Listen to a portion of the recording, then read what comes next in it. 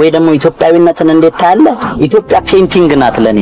ትንሽ ስዕል ተምሬያለሁ መጀመሪያ ወደ ሙዚቃ ከመግባት በፊት። ለምሳሌ ያክል በ painting ስዕል ስትስይ ፊት ለፊት ያለውን ሞዴል አስቀምጠች ስትስዩ ሰው ሊሆን ይችላል ወይ ለምሳሌ ሰማይ በተፈጥሮ ሰማያዊ ነው አይደል? ግን ይሄን ሰማይ ለመሳል ሰማያዊ color ብቻ ብትጠቀሚ የሰማያዊውን picture ማምጣት አትችይም።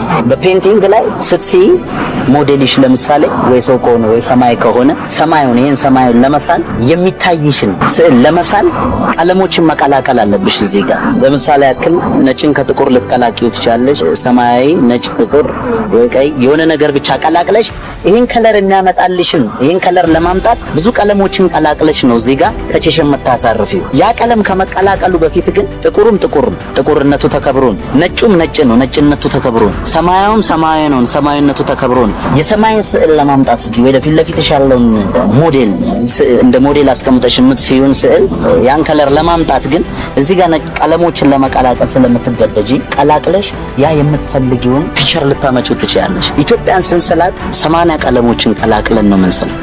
እነዛ ሰማንያ ቀለሞች የኢትዮጵያ ብሔር ብሔረሰቦች ናቸው። ለኔ ኢትዮጵያዊነትን እንዴት እንደም እነዛ ቀለሞች ከመቀላቀላቸው በፊት ወይ ደግሞ እነዛ ብሔር ብሔረሰቦች ኢትዮጵያዊ picture ን ከማምጣታቸው በፊት ግን እነሱ እነሱ ናቸው። ከተቀላቀሉ በኋላ ግን ኢትዮጵያዊ picture ን መሳል ይችላሉ። ምን ልልሽ ፈልጌ ነው ኢትዮጵያዊነት የሰማንያ ብሔር ብሔረሰቦች ቅልቅል ውጤት ናት። ኢትዮጵያዊነት ማለት ኦሮሞ ነው፣ ኢትዮጵያዊነት ማለት አማራ ነው፣ ኢትዮጵያዊነት ማለት ትግሬ ነው ብለሽ መደመድሚው ነገር አይደለም። ገብቶሻል አባባሌ?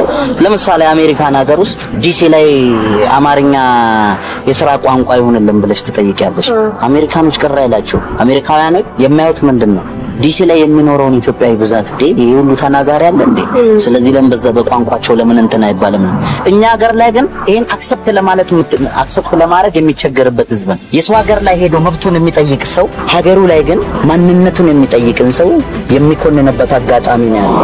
ስለዚህ በኢትዮጵያዊነቴማ ማንም ሰው አንተ ኢትዮጵያን አትወዳትም፣ አንተ ኢትዮጵያን ትወዳታለህ ሊለኝ አይችልም። ምክንያቱም ቅድመ አያቴ ቦንሲቱ ቃበታ ከዚህ መቀሌን ነፃ ለማውጣት በእግሯ ስትጓዝ ኦሮሞ እዛ ስላለ አይደለም። እኔ ቅድመ አያቴ ቦንሲቱ ቃበታ አስክሬኗ ሲሸኝ አውቃለሁ። ሲፎከርላት የነበረው በፈረስ ቦንሲቱ gaafa መቀሌ እየተባለ ነው። ቦንሲቱ gaafa መቀሌ ማለት ቦንሲቱ ያኔ በመቀሌው ጊዜ እየተባለ ሲፎከርላት ነው አስክሬኗ ሲሸኝ የማስታውሰው። ስለዚህ በህይወት የሌሉ ቅድመ አያቶቼም አሉ። የኢትዮጵያን ዳር ድንበር ለማስከበር አጥንታቸውን የከሰከሱ በህይወት ኖራ ያየዋትም ነበረች። አሁን ነፍሷን ይማር ሞታለች ቅድመ አያቴ። ስለዚህ ማንም ሰው አጫሉ በኢትዮጵያዊነቱ ላይ እንደዚህ አይነት አቋም አለው የለውም የሚልም መብት የለውም። እኔ ምክንያቱም እኔ ስለማውቀው ማለት ነው።